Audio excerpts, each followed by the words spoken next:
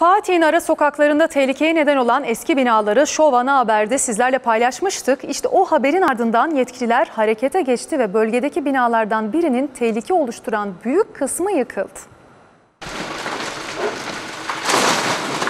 Daha iki gün önce önünden gelip geçenler korkuyordu. Ahşap binanın yıkılması an meselesiydi. Asırlık binanın risk taşıyan kısmı bir kaza yaşanmadan yıkıldı.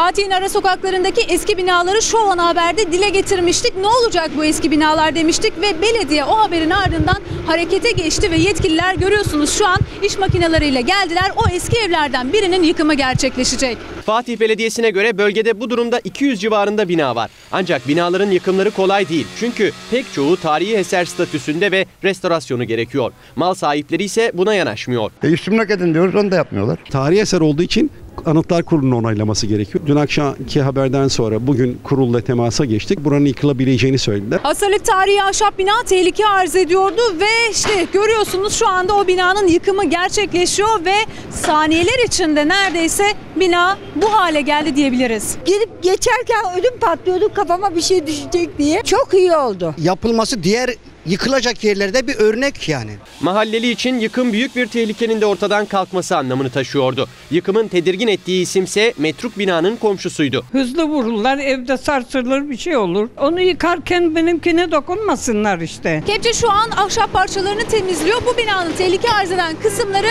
yıkıldı ama mahalle sakinleri şimdi merak ediyor. Civarda buna benzer daha çok sayıda ev var. Peki onların durumu ne olacak? Bunları yani hemen müdahale edemeyişimizin önemli nedenleri var. Tabii mül- mülkiyet hakkı var. İkincisi de tescilli binalar bunlar, tarihi eserler ve uğraşıyoruz.